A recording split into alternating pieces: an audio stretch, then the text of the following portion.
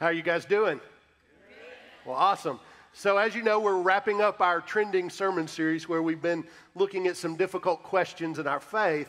And we thought it'd be kind of a neat, different deal to answer some live questions. So, last hour we uh, started out with a couple of questions we'd gotten during the week, but we answered a bunch that were texted in right during the service. So, if you've got a question about your faith, you can still do that. Go ahead and text it because they're popping them up on our screen, and we will do our best to answer those questions. But before we get started, I want to tell you about next week. Uh, guys, kids, next Sunday is Mother's Day. So if you hadn't started panicking and looking for that perfect gift, you need to start panicking. It's that point in time. Um, but bring your mom to church because we've got a special day at Charis City next Sunday. We've got a special message I'll be preaching just for moms. We've got a special gift for your mom. We've got photo booth for the family where you can take family pictures. Uh, we got a couple of big things going on. One is we're doing child baby dedications. This is our first ever at Charis City Church, so we're excited about that. You can still participate. If you want to sign up for that, if you've got a baby or even a child that you've never dedicated, it's a time when we'll pray over your family and we'll challenge you to raise your child to love Jesus and so you can still be a part of that. Let one of us know, particularly probably Selena or Lil out in children's ministry. Let us know. And we got a special gift for the families that participate. We got people in both hours. The other thing we're doing is we are blessing some moms on Mother's Day. So we are we partner with a mission organization called Two Lives Changed that works with young single moms. And so we're going to bless them on Mother's Day with gift cards. And so if you brought your gift cards today from Walmart, in the amount of $5 to $25. You can just drop them in the offering box as you go out those doors out of the sanctuary. It's right there on your right on the table. If you didn't bring gift cards today, you can still do that next Sunday on Mother's Day. Just bring your gift cards from Walmart, 5 to $25. We'll take those and give those out. All right, well, we're going to get started now, and Chris is going to answer the first question. And this one is the same in both hours. Uh, it was a question that came in during the week, and we thought it was a really good question to start. Plus, it secretly gives us a little time to actually prepare for the next question. So, here's the first question that Chris is going to answer What does God say about negative thoughts and intrusive thoughts, and can you be forgiven of them? I almost swapped the question up just at first just to mess you just up, but yeah. But that's the right. question. The mistake is you put a screen in front of me this time. It's, it's weird. Like I'm used to not having this up here. Uh, yeah, this is a this is a really good question, and I think this is something that a lot of us struggle with because I think at some point in your life you have probably thought, man, I feel like th- that was not the way I normally think, the way I act. And, um, and so I just want to start here. I want to start with the reminder that God is not shocked by your thoughts. Uh, Psalm 139, 2 through 3 says, You know that when I sit and when I rise, you perceive my thoughts from afar. You discern my going out and my lying down, and you are familiar with all of my ways. And so I think one of the first things we have to do is to remember and remind ourselves that, yes, we are sinful. Yes, we mess up. But God already knew that. That if God is truly omniscient and we believe that He knows all things, God knows your heart through and through. And so there's not really anything that we're going to do that's going to shock Him with intrusive or negative thoughts. And so that's an important thing to remember, first off. But the second half of that is, is that not only does God already know and isn't shocked, you need to remember that God prepared for this. He prepared for your sinfulness. And so that happened when He sent His Son to die on a cross for you. So, when we talk about intrusive and negative thoughts, and, and, we want to get into the idea of where do they come from, well, I think you actually do get an answer to this in the Bible. Uh, and this comes out of Ephesians 6. Paul wrote this. He says, For our struggle is not against flesh and blood, but it's against the rulers, against authorities, against the powers of this dark world, and against the spiritual forces of evil in the heavenly realms. So, one of the things I think you have to remember first and foremost is that your faith is not you just walking through life. That if you live this out, and you're following God, you are waging war against the spiritual realm. That you're now part of God's army. And what that means also, and this is an important thing to remember, is that Satan, the devil, he will use every tactic he can to separate you from God. And one of the biggest things to remember about Satan that we learned very early on is that he is the deceiver. And so that means that he is really good at helping you to think the way that you're not supposed to. And so he will deceive you, he will lie to you, he will do everything he can to lead you against God. And that's why Paul says that we've got to take this seriously. He says, look, this is why in verse 13 we put on the full armor of God so that when that day comes, when we're tested, when Satan tries to bring these thoughts against you and fill your head with these things, that you're ready for it. Now, before we get into the how do we respond to this, I, I want to answer this question because the, the last little bit of this was how are we forgiven of our intrusive thoughts and our negative thoughts. What does God feel about them? And I want to remind you that you cannot change God's opinion about you. That there's nothing that you're going to do that shocks God. There's nothing you're going to do that changes the fact that He loves you. Remind yourselves that you are His most valued creation. Genesis 2. God formed us by hand. We're the only one that He did that to. Only part of His creation that He formed by hand. And God loved you so much that even in our depravity, in our complete sinfulness, He sent His Son to die for you. And so, right off the bat, remember, you can't change the way God feels about you. So, the thoughts that you have don't affect that. The second part is okay, if that's true, then how do I know I'm forgiven? Look with me really quick. You don't have to look at it. I'm sorry. I usually say that. But uh, this is a Hebrews 4. And now I'm blanking on where it went in my notes, so I just got to scroll back up here. Here you go. This is verses 14 and 16. It says, Therefore, since we have a great high priest who ascended into heaven, Jesus, the Son of God, let us hold firmly to the faith that we profess. For we do not have a high priest who's unable to empathize with our weaknesses, but we have one who's been tempted in every way just as we are, yet he didn't sin. And this is the, this is the key part right here. Let us then approach God's throne of grace with confidence so that we may receive mercy and find grace to help us in our time of need. And so, one of, the, one of the big things I think we need to remind ourselves about God is that the sin doesn't beat the Savior. That yes, you will do things, you will think things, you will say things that can be horrible. But nothing you do will ever, co- ever overcome the love and the grace and the power of God. And here, Paul writes that he is our high priest, and that is to remind us that even in the moments where we are unworthy to approach God, Jesus is worthy, that he was tempted in every way as us. He beat all these temptations. He ascended higher than anyone else, and now he intercedes on your behalf that, yes, you aren't worthy to approach God, but he is. And through him, we get to have confidence in the grace and the forgiveness that we live in. So then the question becomes how do we respond to this? So if we know, okay, we're forgiven of these thoughts, but we still know these thoughts happen, how do you try and prevent them as best you can? Well, there's a couple of scriptures on this that I think are important. And so one of them is Philippians 4, and this is verses 8 and 9. It says, Finally, brothers and sisters, whatever is true, whatever is noble, whatever is right, whatever is pure, whatever is lovely and admirable, if anything is excellent or praiseworthy, think about such things. So there's your thoughts. Whatever you have learned or received or heard from me or seen in me, put it into practice, and the God of peace will be with you. So I think one of the important things to remind yourself of is that I think we have this tendency to focus on the negative. And whether that's that we are focusing on it because we're following it or we're focusing on it because we're trying to run from it, I still think that's a misguided focus. And I think that's another lie of Satan. I think the important thing to remember here, and this is why Paul says this, is that your goal is to focus on the godly things. So instead of trying to just avoid all the negative things, and that's a good, a good principle to live by, but your focus is on what is pure, what is godly, what is true, what is noble, what is admirable, all of these things that are worthy and excellent. This is where we put our focus, our time, our effort, and energy in. And so for you, that means, man, your energy needs to be in your relationship with God, in your reading of the Bible, in prayer, and being in community with God's people, and focusing on what's good. Because if you do that, it naturally replaces the bad things. And we see that in Romans 12. Paul wrote, he said, Look, I urge you, brothers and sisters, in view of God's mercy, offer your bodies as a living sacrifice, holy and pleasing. Right there, again, focus on the good. And he says, Don't conform to the pattern of this world, but be transformed by the renewing of your what? Mind. And this is what he says, because here's the kicker. If you're renewing your mind, if you're focusing on what's good, you're now able to test and approve what is God's will, God's pleasing and perfect will. And so that means that for you, in the moments where these thoughts come in that, that you know aren't yours, and you maybe don't feel that way, you get to decide and, and test hey, that's Satan. That's not me. Hey, that's, that's not how I feel. This is what I know about God. This is what is true, and we're going to hold firm to that. So, that's and just a quick recap, a reminder. Yes, you are forgiven for your thoughts. Yes, they happen. I do believe that that is a part of the way that Satan tries to separate you from God. But you are not unworthy of God's love. You are worthy because God made you worthy. And so the way we respond to that is that we follow God fully and we focus on the things of Him. So. All right, here's the second question, and this is one that was asked first hour but somebody has already texted it in again this hour, and it was a really good question. So I'm going to answer it again because I think it's something that we, we all need to hear. Here, there's two questions that are kind of combined. First of all, is it a sin to doubt your faith in severe trials and tribulation? And the second part of that is when life is tearing you down, how can we break through the pain? And those are great questions that we all struggle with. All right, let me start with the first one. The first one is it a sin to doubt your faith when things are really difficult? The answer is Yes, it is.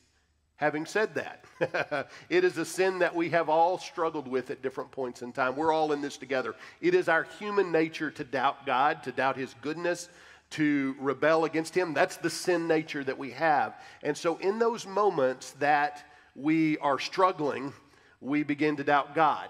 It is a sin, and, and I'll give you the trick here in just a second. But, but I think what happens to us in those moments is we withdraw. So often I hear people that they'll reach out to me and say, Hey, we hadn't been in a church, we hadn't been in church for several months because things have been really tough. And I'm thinking, well, that's the, that's the wrong decision. I don't say it that harshly, but I'm thinking that's the wrong decision because we have to cling to God. So, is it a sin to doubt God in those moments? Yes. We're all there. The trick is don't stay there. Does that make sense? Do what it takes to answer the questions you've got, the doubts you've got, move forward. One of my favorite passages of scripture about doubt is in Mark 9 24. And Jesus is walking, and this man comes up and wants Jesus to heal his son that uh, is demon possessed. And I think this is one of the most honest confessions of our human doubt and wondering. Here's what this father says to Jesus when he asks for his help He says, I believe, help my unbelief. And so often I find myself in that exact same spot. I believe in Jesus, but I start to doubt his goodness. I start to doubt that he is looking out for the best interest of me because things aren't going my way.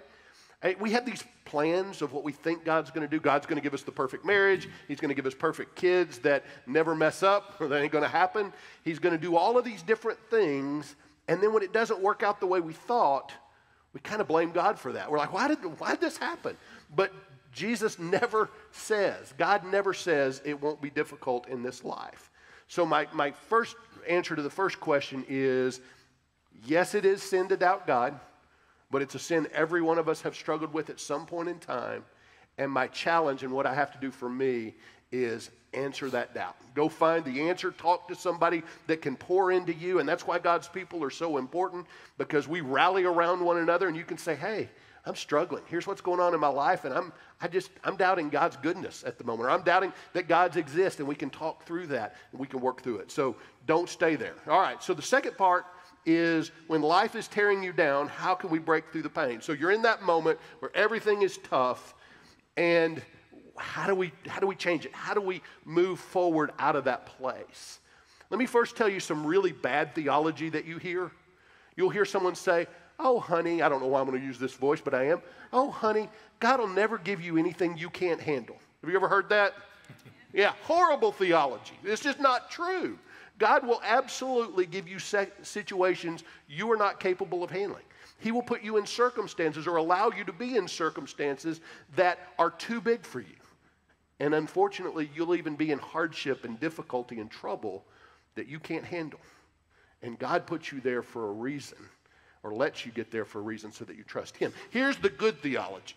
So Jesus is talking to his disciples, and he just told them some really tough stuff that he's going to die, he's going to leave them, that there's going to be all these issues going on and problems. And needless to say, they're a little nervous, they're a little troubled in that moment. And Jesus says this to them in John 16 33, and he says it to us as well. I have told you these things so that in me you may have peace.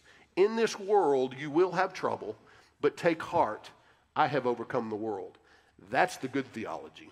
Jesus is bigger than whatever you're going through. His grace is greater than whatever struggle you have, whatever difficult situation. Yeah, that's all right to clap for. Grace is a big deal. That's, that's the good theology. But here's where you have to take a step rally to Jesus. He's there. He's waiting to embrace you, carry you, love you, comfort you. But what we so often do is we walk away. We walk away from the church. We pull back, we withdraw from God's people. God so often uses his people to comfort one another. And so the worst thing you can do is withdraw from God's people, withdraw from God's church, because it's in that church that you get teaching and wisdom from God and you get the love of God's people. So that's one thing you can do is make sure you're, you're clinging to God, you're moving closer to him in those moments. Here's the other thing. Remember that the best is yet to come. Whatever you're going through right now, whatever struggle you have, that's not the end of your story. The end of your story is in heaven. And we have to remind ourselves of that. The Bible says that God is looking out for our good. And so often we think, well, that's, this isn't good, what I'm going through. God's got a different perspective. And so I love how the Apostle Paul says this in 2 Corinthians 4.18. He says, so we fix our eyes not on what is seen, but on what is unseen. Since what is seen is temporary, but what is unseen is eternal. So it's saying, whatever struggle you've got right now, it's not the end of the story. God sees the end of the story, and He has, He knows that one of these days you're going to be in a place where there's no sadness, no pain, no hurt, no death, no tears. Yeah. And so I use this little illustration. If you've been around a while, you've probably heard me say this before, but this is kind of the way I think about this. Let's say on January 1st of this year, you were going to a bowl party, some college bowl party, and on the way you had a wreck. Totaled your car, you were injured, the ambulance comes, they load you on the gurney, they're pushing you towards the ambulance, you fall off the side of the gurney, you break your arm, they load you, get back up, get you in the ambulance. The ambulance has a wreck on the way, you're injured more, now your neck is hurting. They get you to the hospital, you sit in the emergency room for hours, nobody even re- realizes you're hurt. You hurt, you sit there, and finally you get in and you get taken care of. It's a really bad day. But then let's say a couple of days later, an uncle that you didn't even know existed dies and leaves, leaves you $30 million. And you spend the rest of that year traveling around the world just seeing the beauty of God, experiencing all of different countries, and you have this amazing year where you experience things you've never experienced before and you get to the end and you're, at a, you're now at a New Year's Eve party at the end of the year and you're telling everybody how amazing your year has been. And somebody says, Didn't you have a wreck? I mean, I was there. Your January 1st was horrible for you. And you stop for a minute and you go, Yeah, I guess that's right. But since then, it's been awesome. That's what heaven is for us. And so that's why Paul says, Don't fix your eyes on what's here because it's temporary. Keep your eyes fixed on eternity because that's where you'll that's where your story ends. So that's the way you move on beyond it. Yeah. Um, so real quick, we'll just talk about one question we got in. Somebody did ask me specifically if I have drafted a formal apology towards the Houston Texans. And uh, the answer to that is, uh, as much as you would love me to know, you drafted C.J. Stroud, win some games, and I'll take back what I said. But wow, you're you're going going deeper into it. If our uh, church breaks apart, I'm blaming you. I'm just telling you. yeah. Um, so this is a question we got. I'm trying to get back to it up in here. We added a few. Um, so somebody said specifically, they said, I'm having trouble believing that Paul's writings are anointed. And this is someone who advocated hitting one's wife as long as the object was no thicker than a thumb. And overall, he thought very little of women. So please help me understand how this is really spirit breathed. Okay, so really quickly, uh, the, and I, I, Googled it, don't worry, just to be sure. I did my little research for you. There is not a single area in Scripture where Paul approved beating one's wife. Uh, in fact, we see the opposite if you look at Ephesians. You know, Paul actually says specifically that we're to treat our wives gently and to treat them well, that we are actually to submit and to give our lives towards our wife. Um, so, on that side, if, if you think that, that you can disagree with me on that, I'll be glad to talk to you about that. Um, and then to talk about his, his role with women, um, there's a couple of things that I think we can talk about here. One of them is I, I, think to say that Paul had a harsh or very little view of women, I think is unfair. Um, I think it's a little generalized, and I think you can even see examples in Romans 16 where uh, he's giving a list of people that the church should greet. You know, he talks about Phoebe, who's a deacon of the church, and he, he specifically says, "I commend to you our sister Phoebe." And so this is a that's a woman in leadership right there who's actively serving in the church, and Paul commends that. He goes on to talk about Priscilla and Aquila, co- my co-workers in Christ Jesus, who risked their lives for him. Uh, and so there, there's different examples we can give towards that um, that show that that Paul had some views towards women's teachings, but to say that Paul had a negative view of women, I don't think is very accurate. I think Paul believed very, uh, very strongly in biblical roles and if you're looking at scriptures like 1 Corinthians, where he even talks about should women be silent in the church, or should they speak up, or should they dress, I think it's important to understand some of the cultural norms at that time and understand why Paul might have written that.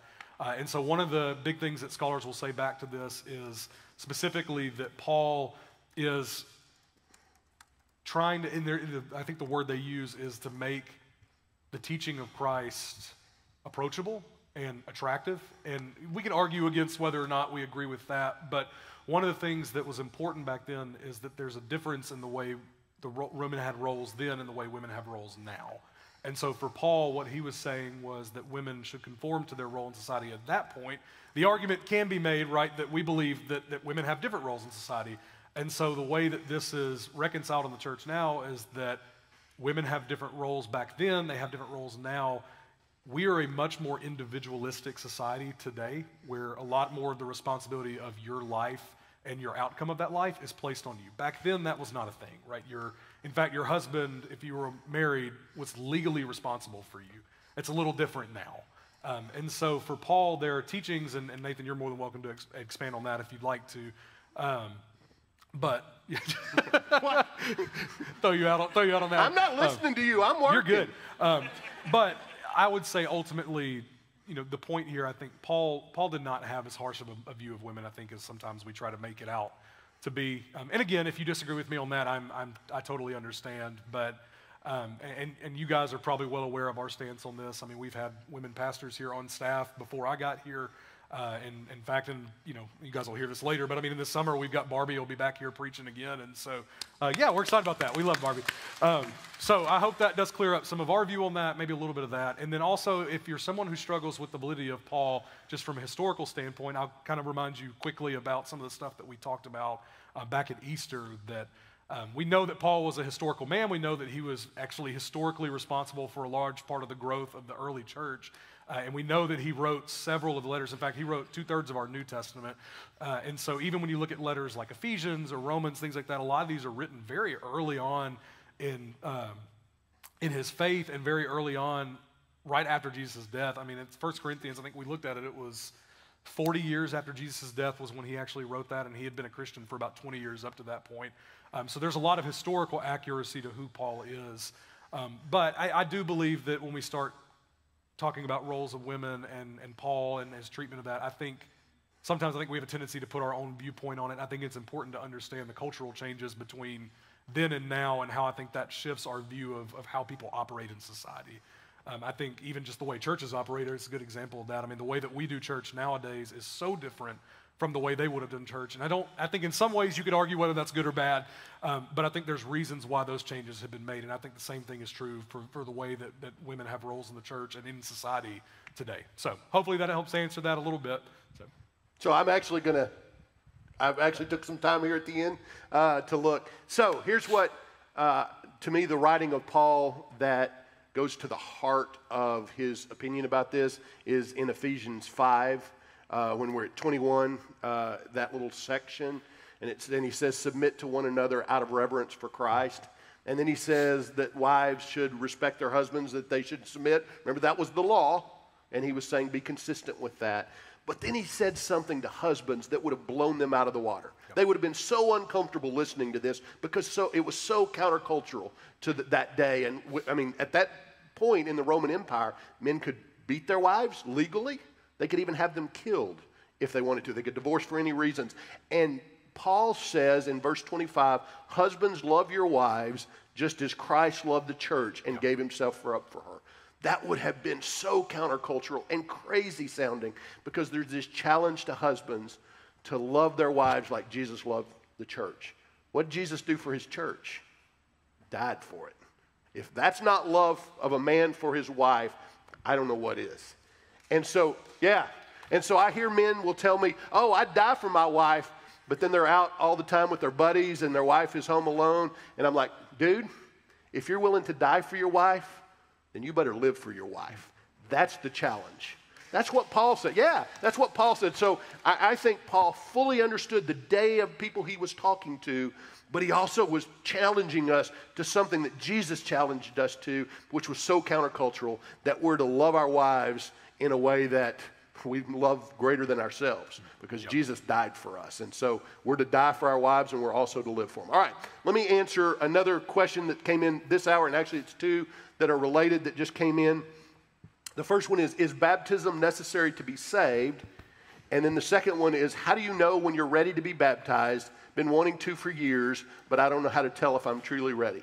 So, first question Is baptism necessary to be saved? The short answer of that is no. Having said that, it's incredibly important. So, John 3:16 that we all know tells us what it looks like to follow Jesus, what it looks like to be saved. For God so loved the world that he gave his one and only son that whoever believes shall not die but have eternal life. When we have a belief that changes who we are, that's when we're saved. Does that make sense? Now, belief is not just like, oh, I guess I believe in God, I believe in Jesus, yeah, historically. No, no, no. When it's the Bible is talking about belief, it includes this idea that we believe so much that we repent of our sins, we make Jesus our Lord and our Savior, and we chase after him. That's what it looks like to believe. Because there's another place where James, the half brother of Jesus, is saying, So you believe in God? Big deal. Even the demons do that, and they shudder. And what James is saying to us is a belief that matters is a belief that transforms who we are. See, the demons believe in Jesus, they're scared to death of Jesus, but it doesn't change the way they act, it doesn't change the way they live, it doesn't change the way we think. So, that's what saves us. But baptism is incredibly important. Remember that Jesus walked 60 miles to be baptized in the River Jordan, and he had never committed a sin. He set the example for us for how important it is. There were no first century Christians back in the book of Acts or, or shortly thereafter that were walking around unbaptized. If, for lack of a better term, this is going to sound a little collegey, it's initiation.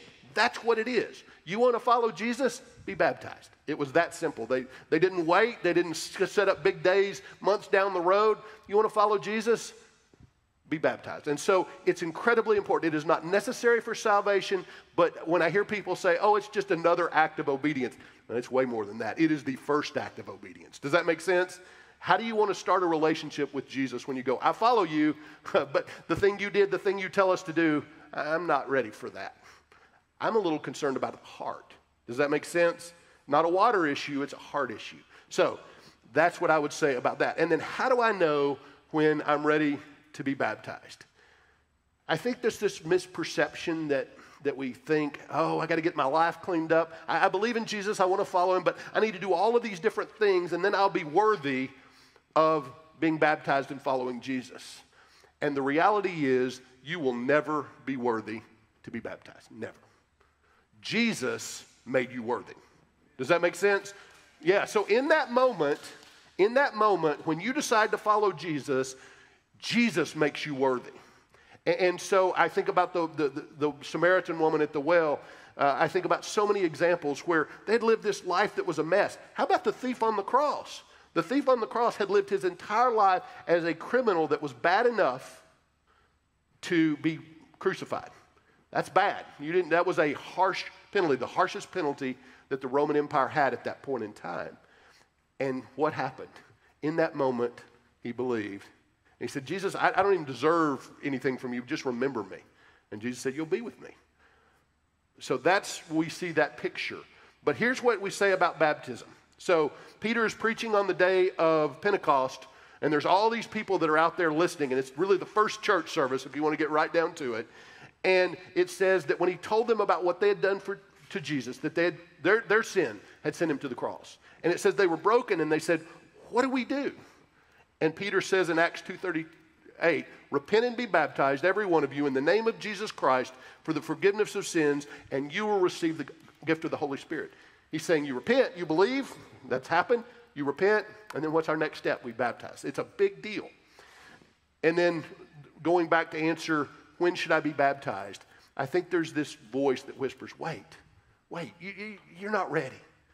That's not Jesus. That's not the Holy Spirit. The Holy Spirit is saying, follow me now. Jesus was always about, follow me now. Get up, drop your nets, follow me now. I love Acts 22 19. It says, and now what are you waiting for? Get up, be baptized, and wash your sins away, calling on his name. I love that. Just let's go. You believe? Let's go. So that's what it looks like. After church, we're going to have three baptisms. And you're going to get to see that beautiful illustration of what it looks like when someone dies to their old life of sin. They're buried in the water just like Jesus was buried in the tomb. And then they picture of them rising to a new life in Jesus. Baptism is not necessary for salvation, but it's incredibly important. And it would be a mistake to wait when you follow Jesus. Yeah. Um, so, next question for you guys is somebody asked, What does it mean spiritually if I feel my prayers are repetitive and go unheard due to the sinful life that I have lived? Okay, so there's a couple of ways I want to tackle this one because I think there's several different little pieces that we need to talk about. Um, so the first one is let's let's go ahead and answer the question: Does God hear my prayers? And does God hear my prayers if I'm a sinner? Okay, so here's what I want to remind you of right off the bat: Are we unworthy to approach God? Talked about this a minute ago. Yes, and here's what I want to say about that. I think it's a mistake to think that God doesn't care about you or care about what you have to say. That being said, God's opinion of you does not change the condition of your heart, nor does it change your standing with God before the throne of judgment. The reality is, right, is that in our sinfulness, we're unworthy to approach God even in prayer. And we see this in Isaiah 59, 1 through 2. It said, Surely the arm of the Lord is not too short to save, nor his ear too dull to hear, but your iniquities have separated you from your God. Your sins have hidden his face from you so that he will not hear you. And specifically here, that translation of he will not hear you isn't that God can't hear you, it's that he chooses in that moment not to hear. Now, here's the catch though is that yes, you are unworthy. But you need to remember that in Christ, that changes everything because you may not be worthy, but Jesus is. And so you're able to be counted worthy not because of what you've done or as a result of what you've done, but because of what Jesus did. And I'll go back to Hebrews 4 again, that same verse I read a minute ago, is that since we have a great priest who has ascended into heaven, Jesus, the Son of God, we hold firmly to the faith professed, for we don't have a high priest who's unable to empathize with us on our weaknesses, but we have one who's been tempted in every way, just as we are, yet he did not sin. Let us then approach the throne of grace with confidence so that we may receive mercy and find grace to help us in our time of need. And so I think right there, again, when you look at the idea of a priest, remember that they prayed on your behalf. That was a big part of the priestly uh, role in Israel. And so when we're in the new covenant, that's not the role anymore. Jesus now takes the place of that priest as our high priest. And so he intercedes on our behalf. So when we pray, we are praying with Jesus praying on our behalf. Does that make sense? And so that changes it for us because now, in the moments where we were unworthy, Jesus' worthiness covers that. His blood covers all of our sin. And when God looks at us, he sees Jesus. And that means he does, in fact, hear us. And he wants to hear you. Revelations talks about your prayers being like incense to God, that he takes pleasure in the words of his people. Now, I think there is a catch with this because I do believe there is a difference in someone who has been sinning and someone who is constantly living in sin. And I think that this is true. Uh, in James 5, one of the verses you read is that a prayer of a righteous man, righteous man, is powerful and effective. Key with that, we're made righteous in Christ, but I think we have to follow that out to live that out. Does that make sense? And so, yes, I do believe there is some truth in saying, well, all I've done is just sin and sin and sin and sin and sin and sin and sin and run further away from God. But then when something bad happens in my life, I prayed and nothing happened. Think, well, that's a selfish prayer first. And second, I don't think that's a shock that God would turn away from us when, when it's our iniquity. But if we are actively seeking a relationship with God, I do believe that He's faithful to answer our prayers because Jesus said He's faithful to answer our prayers. And then, really quickly, just as we talk about the repetitive prayer, and, and if, I understand you may be saying that your, your prayer became repetitive because of your sin, uh, but I do think it's important to say it like this. Um, there is a difference in praying for the same things over and over again and going through the motions. And so, and I think Jesus talked about this, and I'm not going to go through the whole scripture because I know that we're getting close to time here. But um, Matthew 6, when he talks about what we call the Lord's Prayer, I think we made the mistake early on in the church of taking the Lord's Prayer and going, that we've got to repeat that over and over again. And so, most of you probably in this room, even if you're not much of a, a Christian, you probably can repeat the Lord's Prayer back to me because that is like indoctrinated in us. But Jesus gave that as an example of how we're supposed to pray. And his whole point behind that is prayer is casual prayer is short, and prayer is communication with our Father. And so there should be something real and intimate about it. And so it's okay if you feel like you pray for some of the same things. I, I would say most of the people in this room pray for a lot of the same things every day. But you also can add to that. And so that's, that's my encouragement and my challenge to you. I would say if, if you're living a life of sin and you're running away from God and thinking He'll answer your prayers, turn back to God. Because I think He's faithful to answer your prayers when you do that. Um, but if your challenge is also that you're struggling with the idea that your prayers feel like they're the same, uh, my challenge to you would be try and pray a little more casually. I, I, I love, um, when I was back in Georgia, I had a, a, college student in our college ministry, and every prayer she prayed, she started with the same thing. She'd go, Hey, God. And I love that because at first it kind of catches you off guard a little bit. You're like, Can you do that? Yes, you can. And so for you, I think it may help if you're struggling with the idea of repetition and feeling like you need to get the words right. Remind yourselves that Jesus says, hey, don't pray like the pagans. You don't have to be wordy, you don't have to fill it with a bunch of things. Just talk to God because He hears you. It's when we die, where are our souls until God's return? And along with that, are there genders in heaven? Yeah, so they're kind of related, so I want to answer both of them. And I want to start with where are our souls when we die until Jesus' return? And there's really two schools of thought by smart theologians that have different perspectives. Here are the two perspectives. One of them is that immediately when we die, we, our souls go to heaven and we're immediately with God, with Jesus in heaven. And then eventually, our physical bodies will be perfected and, and raised, and we'll have a physical resurrection when Jesus returns.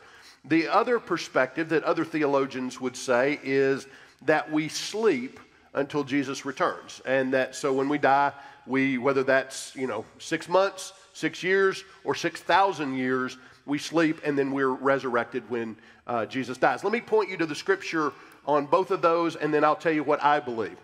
Uh, those that would say that we sleep would point mainly to 1 Thessalonians 4 13 through 17. And keep in mind, all of this is Paul's teaching. So when you hear different perspectives, it's not different people saying different things. It's all the Apostle Paul writing about this. But I'll give you the, the reason that I believe what I believe. All right, so for those that would say you sleep, 1 Thessalonians 4 13 through 17. Brothers and sisters, we do not want you to be uninformed about those who sleep in death, so that you do not grieve like the rest of mankind who have no hope.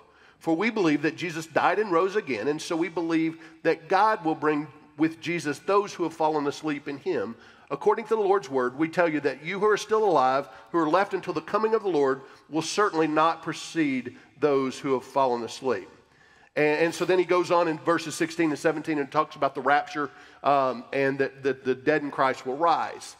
And I believe Paul here is talking about comfort. He is comforting the people who are still alive, who've lost loved ones. He is not talking about our souls here. He's reminding us as the living that those who have preceded us in death, we're going to see them again. We're, they're going to see their physical bodies one day. And so you get a sense probably of what I think. I don't think we sleep. I think we immediately, our souls immediately go to Jesus. But that, for those theologians who would say we sleep, that's the passage that they look at. For, for those who believe that our souls immediately go to heaven, we look at a couple of other passages for Paul, one of which is very specific teaching, and why I believe this one is more indicative of the biblical truth of what happens and not a passage of comfort for those of us who have lost loved ones. So 2 Corinthians 5, 6 through 9, Paul says this Therefore, we are always confident and know that as long as we are at home in the body, we are away from the Lord. So when we're here, we're away from the Lord. For we live by faith, not by sight. We are confident, I say, and would prefer to be away from the body and home with the Lord. So we make it our goal to please Him, whether we are at home in the body or away from it. So he's saying when we're in the body, we're separated by our sin, we're separated physically from God. We don't get to see Him uh, even though we can feel his presence. But when we die, when we're no longer in this body, that we're with the Lord. And, and to me, that is very direct teaching about what happens. But you see later, Paul writes another passage of Scripture in Philippians 1 21 through 23, where he is talking about his own death. And he is talking about what he wants to see happen with his own body. And listen to what he says For to me, to live is Christ, and to die is gain.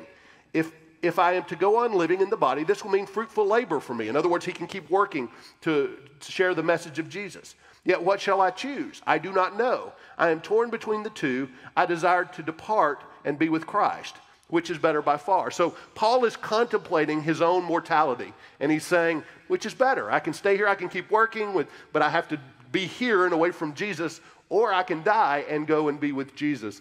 And the question is if you sleep, why is Paul in such a hurry to, to leave his body? He wants to leave his body because he wants to go be with Jesus. And keep in mind, Paul knew what he was talking about because Paul had actually been taken to heaven to, be, to see what it was like. So it's not like he was just guessing here. These were God's words that Paul was giving us. There's also a parable uh, about Lazarus and the rich man in Luke 16 that gives us a little indication too. Uh, so it talks about that Lazarus, a very poor man, had died and went to heaven, and a rich man had died and gone to hell. And it's clear that life is continuing because his, the rich man's brothers are still living. And in fact, he wants Lazarus to go tell his brothers about Jesus because he says, Look, if, if a dead man comes back and tells about Jesus, maybe they'll decide to follow Jesus. And so we see this picture that Jesus gives us of people in heaven talking about people still on earth. And so that's another indicator that we are, when we are physically gone from this body, our spirits immediately go to heaven, but then eventually we will be resurrected into a more perfect body. Mine's going to be really thin, by the way. Um, so, genders in heaven. We can kind of start with that picture of Lazarus in, in heaven and the rich man in hell. They're dead, they're in heaven and hell, and they still have genders. It clearly refers to them as him. I mean, it, it's very clear that they have genders in heaven. We also know that Jesus, after he died, rose from the dead and is in heaven. He still has a gender, he is male. So the Bible's very clear of that. Now, the Bible does not specifically say there are genders in heaven. So we're making inferences based on this parable, based on the fact that Jesus has a gender, even though he has died and is now in heaven. It's still pretty clear.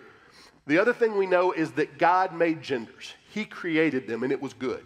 And so when we get our perfect bodies, we're going to recognize one another in heaven. The Bible's clear about that. We're going to know and be known.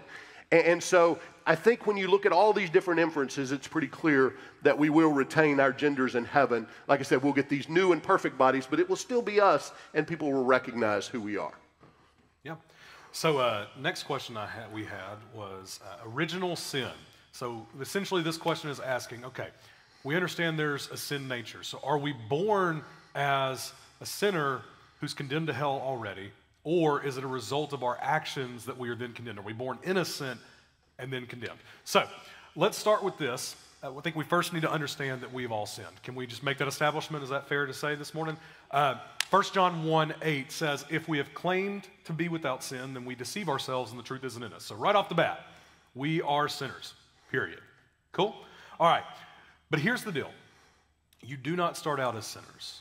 It is an inclination that's within us. And there's a couple of different ways that we can talk about this. So, first, we'll address, I'm going to address Romans 5. Romans 5 tells us that, that death entered the world through one man, it entered through Adam, right?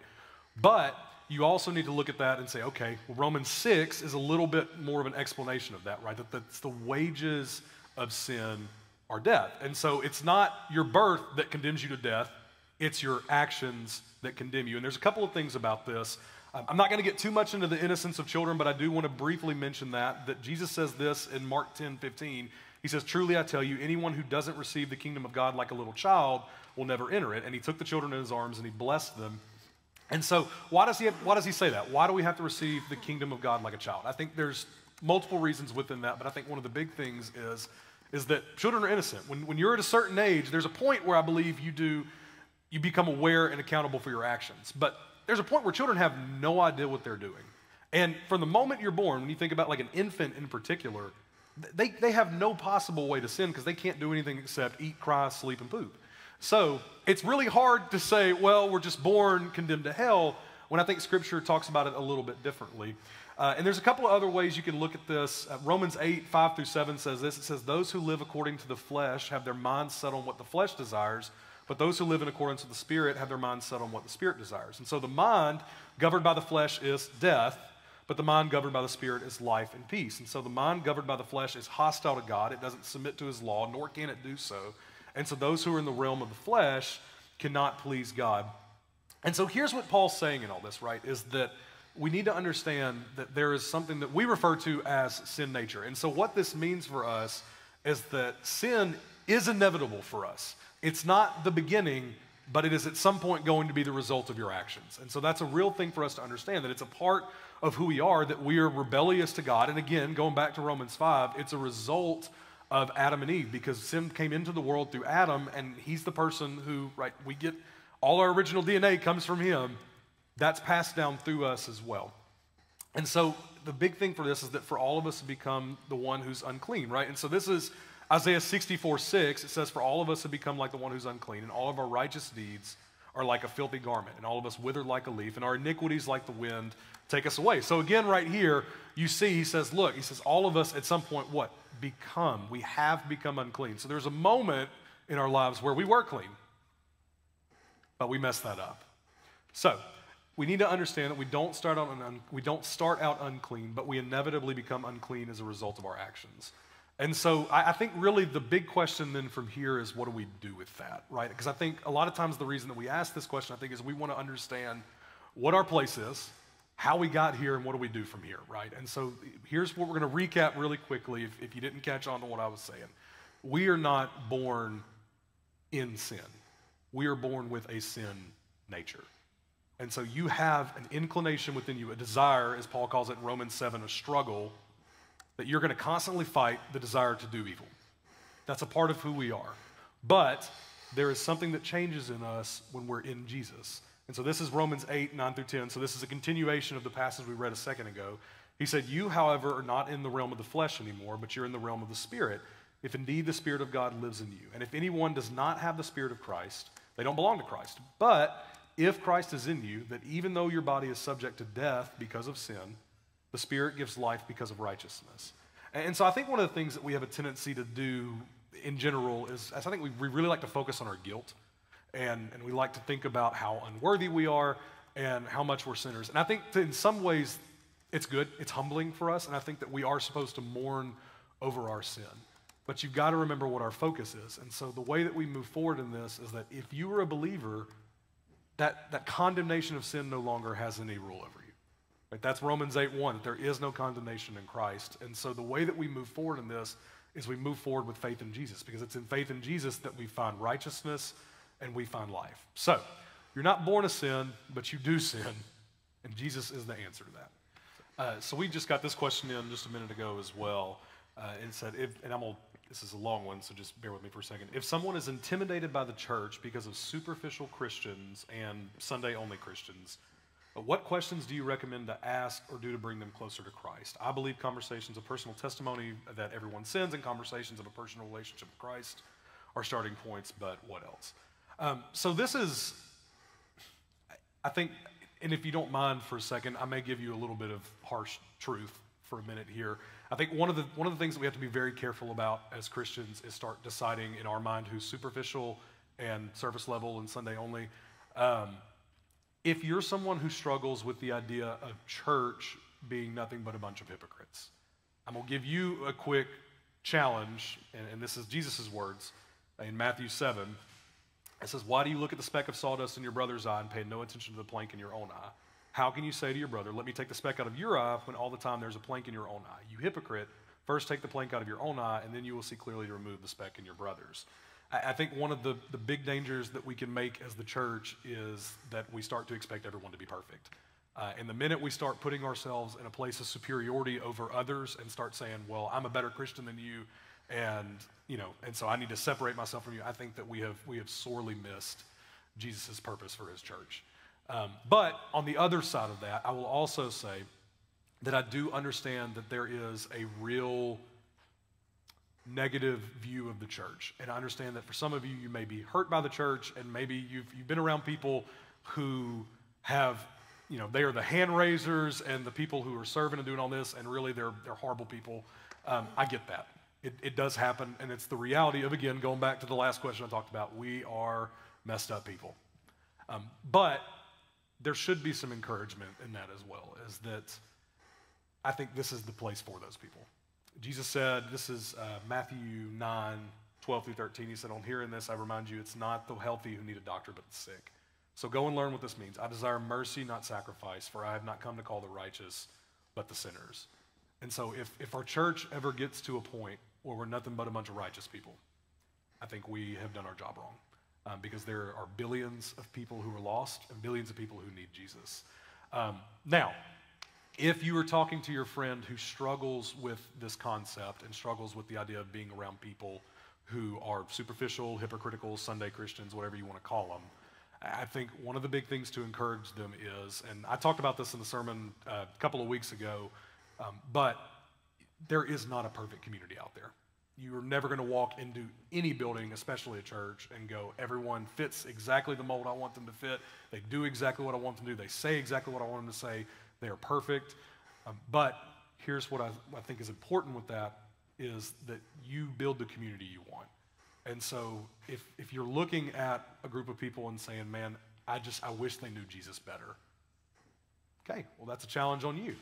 Uh, and so I, I think we need to be careful to be worried about the church hurting us because people are just like us, if that makes sense. Um, because if, if you're also not going to church, you're putting yourself in the same category of the people that you're scared of.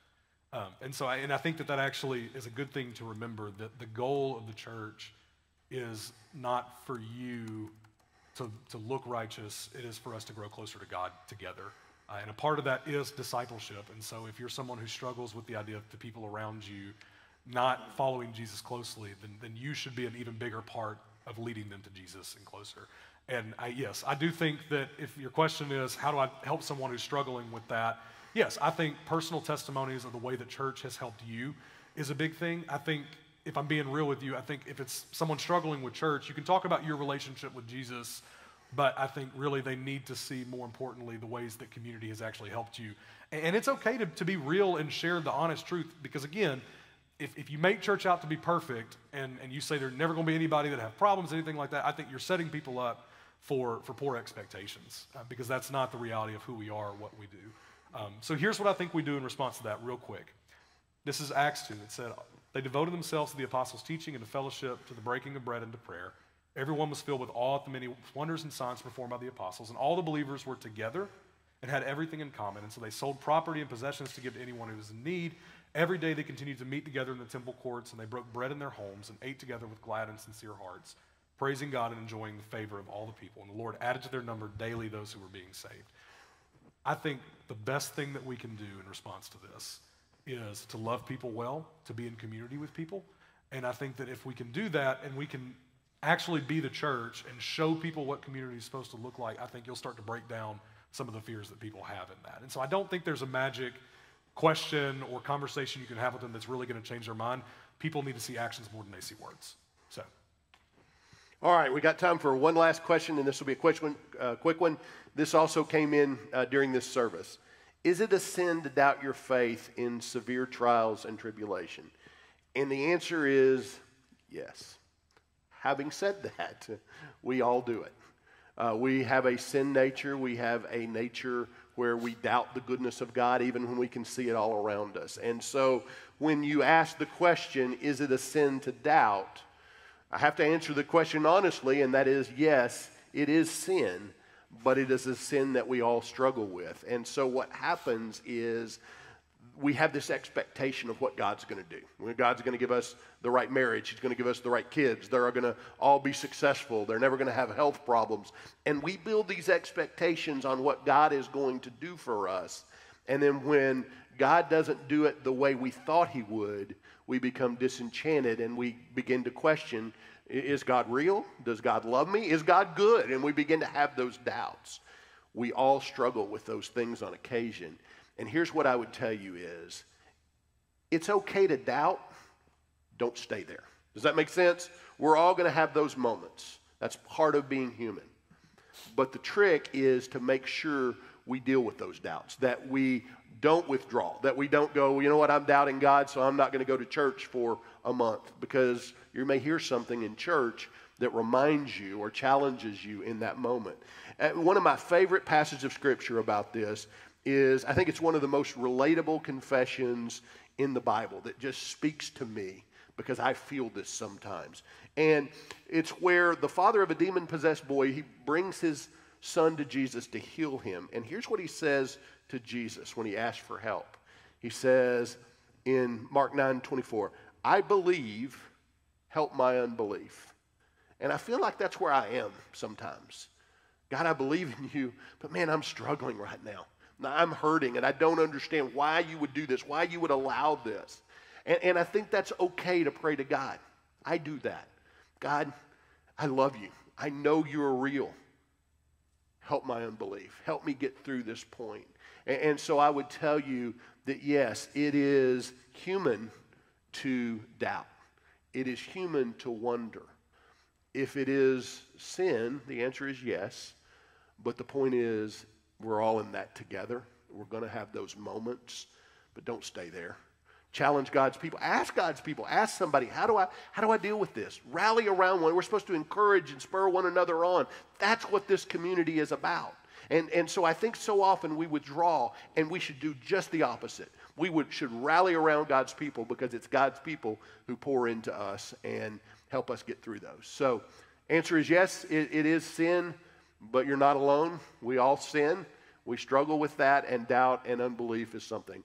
Help me with my unbelief. That should be our prayer on a regular basis.